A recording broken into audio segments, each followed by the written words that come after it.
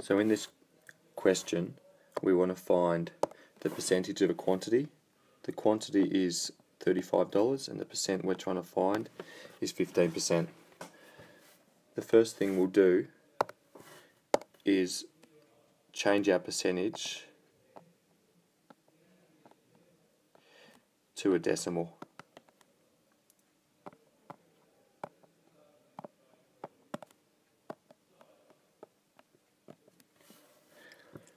Okay, so take our 15% and as we've done before divide that by 100 to give us 0 0.15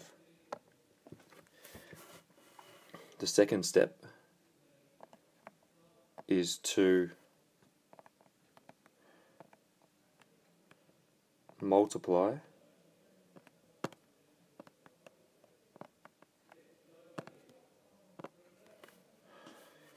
the decimal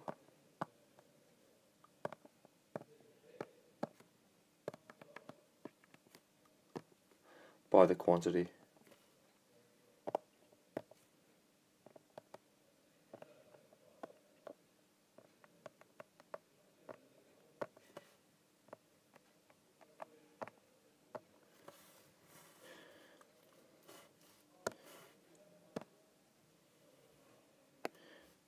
So number two, undo that. Number two, take our decimal, which is 15.15, and multiply that by $35. And that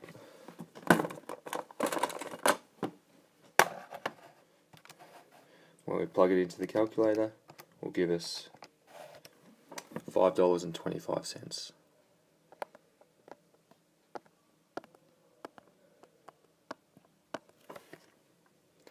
Now try that with the jacket question below.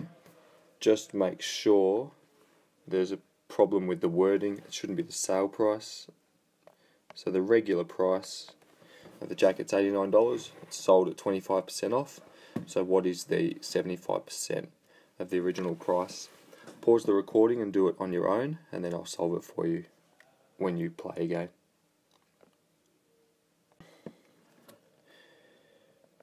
So because the jacket is 25% off,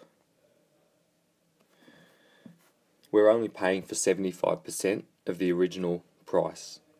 So $89 is 100% of the price.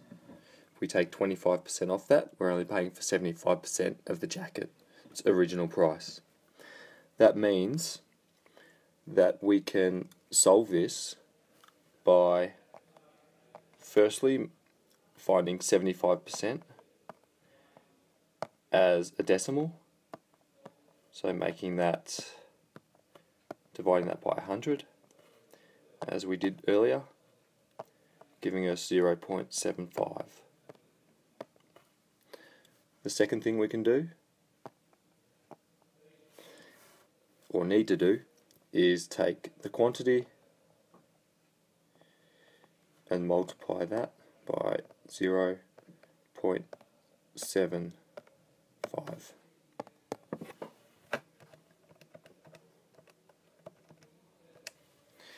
And your answer should be that the jacket would cost you $66.75.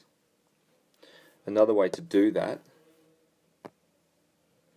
would be to find 25% of the jacket, so multiply $89 by 0.25 and that will tell you how much uh, discount is received on the jacket and then with that, you can subtract that from your $89.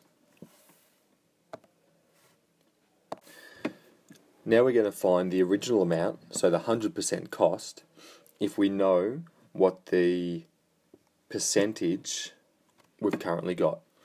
So in this question, we have 5% is equal to $45.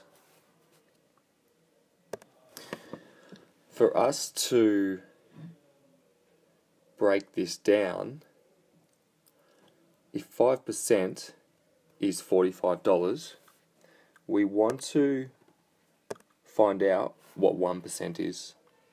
So to do that, to find out what 1% is, we divide 45 by the amount in percent that we've got. And you should be able to do this in your head. 45 divided by 5 will be equal to 9. Okay, that means that 1% is equal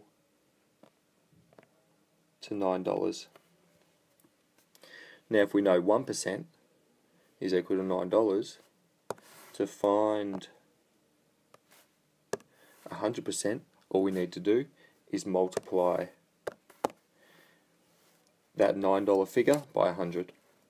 So 100 times $9 is equal to 900. Now we can check that that's correct by taking $900 and working out what 5% of that is. So $900 and as in the previous example times that by the percent converted to a decimal